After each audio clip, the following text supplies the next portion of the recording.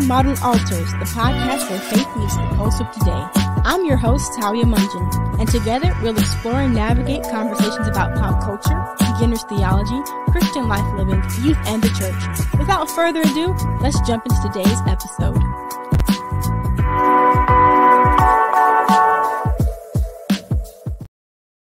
Hey guys, and welcome to another episode of Modern Altars. And today we're going to be talking about checking the fruit. So, this episode idea stems from TikTok, and it took me a while to get on TikTok originally because I saw how addictive it was for other people in my friend group, and I was like, mm, maybe I don't want to do that. But once I got on there, it's really a great place. It, like all social media, it is what you make it.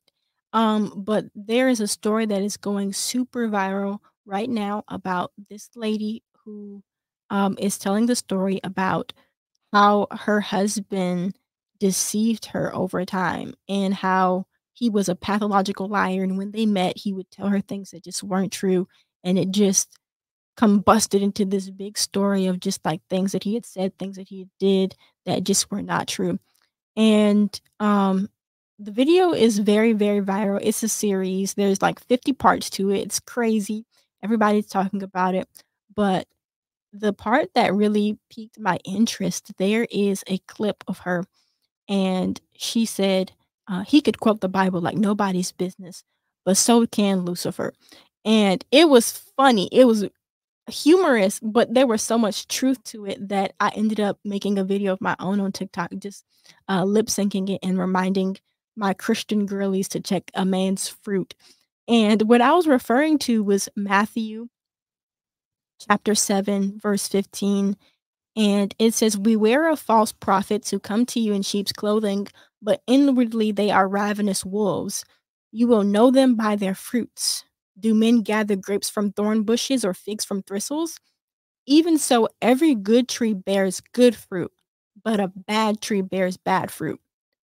A good tree cannot bear bad fruit, nor can a bad tree bear good fruit. Every tree that does not bear good fruit is cut down and thrown into the fire.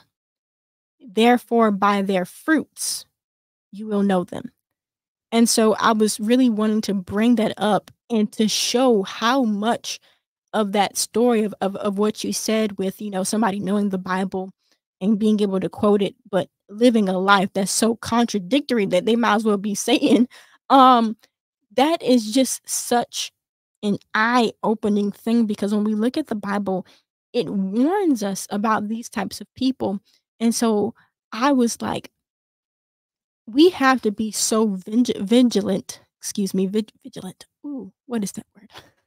We have to be so cautious with the people we entertain, with the people we let into our circles, and even using um that symbolism that's in Matthew when it says they come in in sheep's clothing, but they're wolves. All throughout the Bible, God draws this picture of his people being sheep. He's the shepherd. We are his sheep. We listen to him. We need his guidance. We need his support. We need him. But what happens when the sheep let a wolf in the pack? We can literally visualize this and make this so very practical because a wolf is going to eat the sheep a wolf is going to come in. And so if we're not careful, if we're not looking at the people we're around, if we're not looking at what we entertain, the people and, and vetting them, when we're not vetting them, we're letting in people who want to destroy us, people who have our worst interest at heart, people who who want to see us vulnerable. And not only that, but Matthew chapter 21, when you go further down, into Matthew, um, we see this story about Jesus and a tree. And this also brings into mind ideas about fruit because it says, Early in the morning, as Jesus was on his way back to the city, he was hungry. Seeing a fig tree by the road, he went up to it, but found nothing on it except leaves. Then he said to it, May you never bear fruit again. And immediately the tree withered. Now, there is a lot that I love about this passage, and more that is not even completely on point with what I want to talk about today. But first of all, the humanity of Jesus. Can we look at that for a second? Jesus is so human that he's hungry, but he's so God that he's literally telling the disciples, if you curse this tree, it's going to die. If you speak to a mountain, it shall be removed. Like he's he's so God. He's so man, but he's so God. And that's just absolutely crazy to me. But he's hungry and he goes to this tree with all of these leaves. And from a distance, I can imagine he sees all these leaves. He sees this tree. It's supposed to be healthy because you see the leaves. It's producing something, but it's not fruit. And the thing is, fruit is helpful. Leaves, what what are you going to do with leaves? And so just the idea of seeing something, it should be healthy. There's leaves, but the leaves are not helpful. You're only producing the things that can't help me. So even in a sense of of relationships, how many times do we see something and it looks good and it looks healthy and it looks like it should do something, but it's not producing what we need? You have leaves, but you have no fruit. What's a fruit? When they say fruit, they're talking about works. They're they're talking about um fruits are the the the visual representations of healthiness. Fruits are the things that we produce that say we believe in God. Fruits are the things that people can see our lives and the way we live it, the things we say, the things we do, and say, hey, this person has fruits. Fruits of the Spirit, love, joy, peace, sound mind. All of these things are fruits. But what happens when we say one thing but we're living another? What happens when there's God in the bio, but there's no God in our hearts? And see, with this whole story on TikTok, this man, he could quote the Bible. He was sitting down, he was reading it. He had the word in his mind, but the word was not in his heart. How do we know? He was lying. How do we know? He was putting his wife through all types of ungodly things. And just like somebody could say something out of their mouth and it not be true, we have to be so careful that the heart posture is lining up with the words that are coming out of the mouth. Check the fruits. Check the fruits. Because we may be allowing people into our lives who market themselves as something. They market themselves as, I'm a child of God. I'm a woman of God. I'm a Proverbs 31 woman. And just for a second, can we stop there? Because I I have no problem with somebody calling themselves a Proverbs 31 woman, but you will never catch me saying that. And here's why. First and foremost, I read that whole chapter. And as soon as I got to the part where it says she rises early in the morning, I was like, full stop. because I'm working on it. I might be working towards being a Proverbs 31 woman, but I, I'm not there yet. And and so they're they're having these titles, woman of God, Proverbs 31 woman, man of God, all of these things but we better be so very careful that when we put these labels over our lives, our actions are matching what we're saying about ourselves.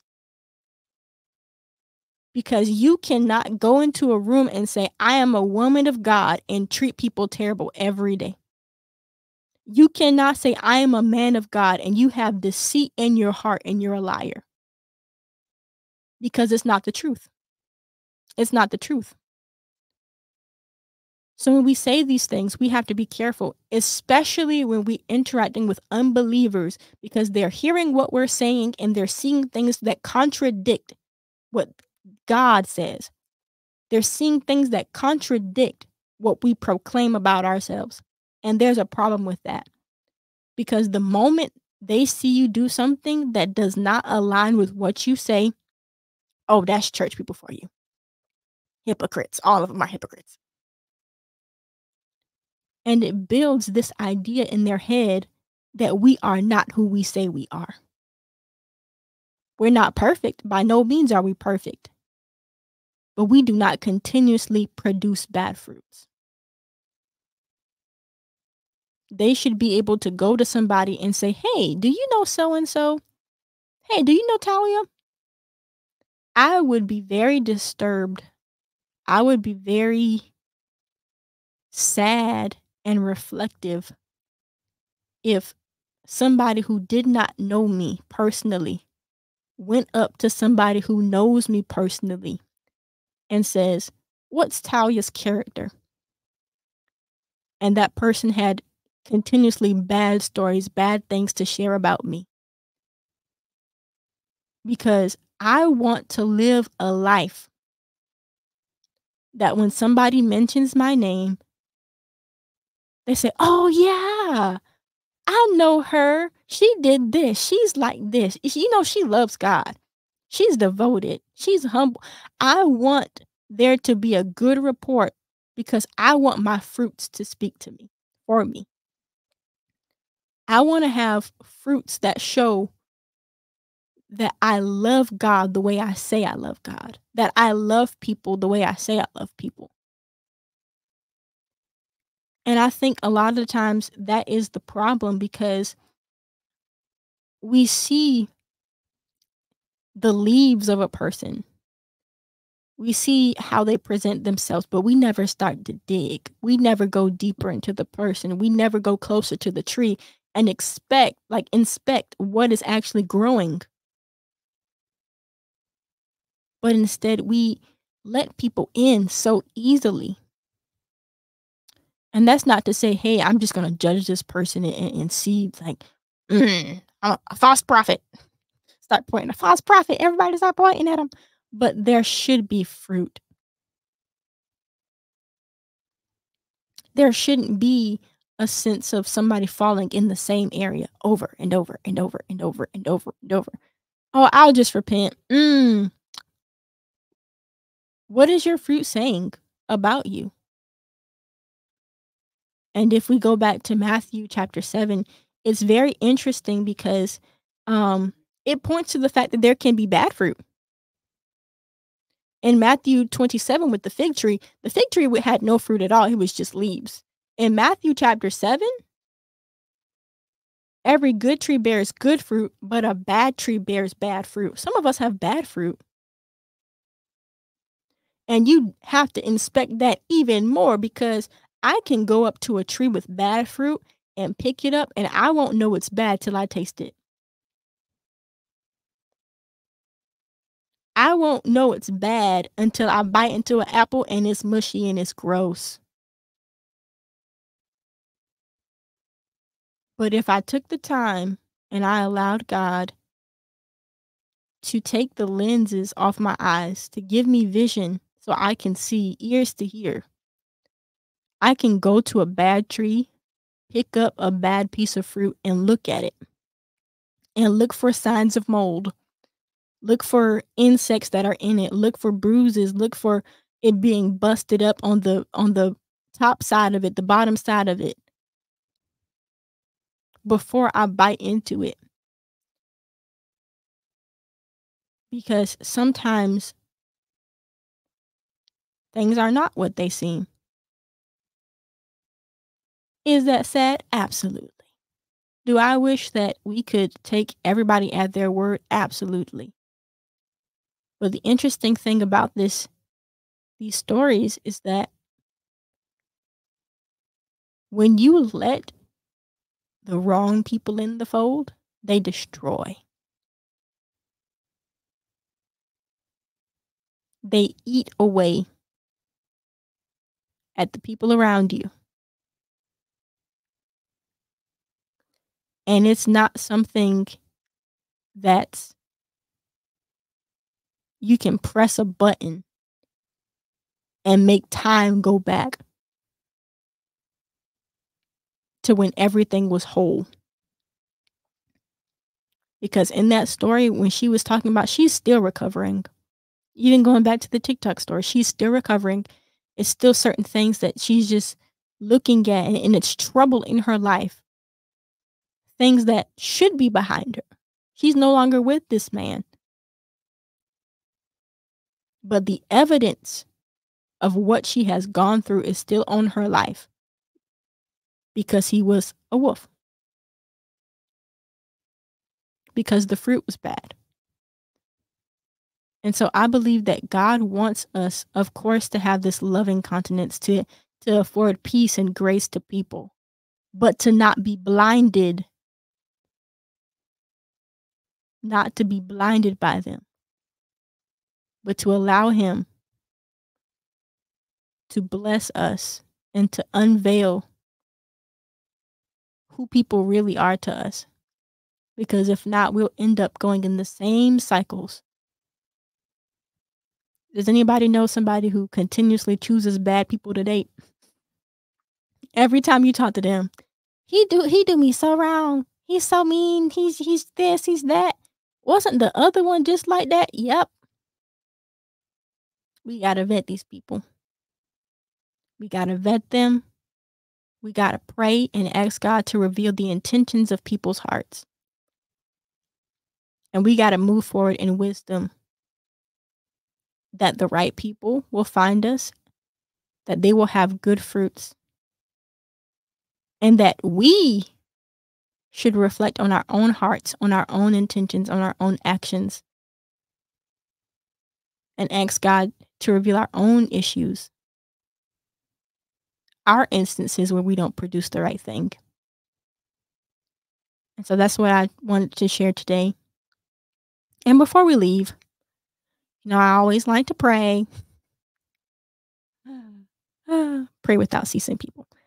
Father God, in the name of Jesus, I thank you for this day. I thank you for your goodness, for your mercy, for your grace. God, I pray that you bless every listener under the sound of my voice, God, that you cover them, that you reveal to them the people around them, that you show them the hearts of the people they surround themselves with. that every wolf will be stopped, that every bad fruit will be dropped, that the intentions that people have toward us that are negative would be stopped in the name of Jesus. That you would protect us and weed out everybody who is not like you. In Jesus' name I pray. Amen. You enjoyed today's episode, don't forget to like and follow us on your favorite podcast platform. Select episodes will be available on Facebook, but stay tuned to YouTube and Spotify to stay up to date on all content. We love hearing from you, so connect with us on social media and use the hashtag Modern Altars Podcast and share your thoughts. What topics or guests would you like to see on future episodes? Let us know. And keep your eyes out for a Google form where you can share your episode ideas, ask questions, and make suggestions. Until next time, God bless.